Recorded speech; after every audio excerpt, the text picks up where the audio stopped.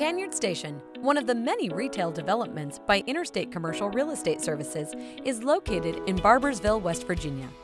This 50 acre property is just minutes from Interstate 64 and other proven retail properties. Tanyard Station presently serves a population of over 470,000 and is just 10 miles from downtown Huntington, West Virginia. 400,000 square feet of retail space will be available, and $9 million in road improvements have been recently made on US Route 60 where Tanyard is situated. By joining the thriving retail scene at Tanyard Station, your business would be poised for growth and success. An instant customer base exists nearby with almost 80,000 vehicles per day.